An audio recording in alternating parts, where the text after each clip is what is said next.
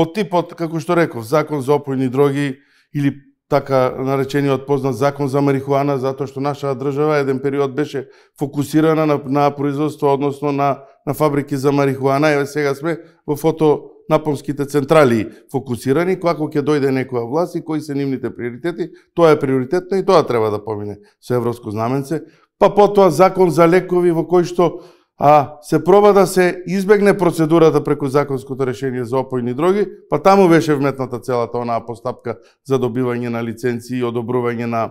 на, на одредени а, овла,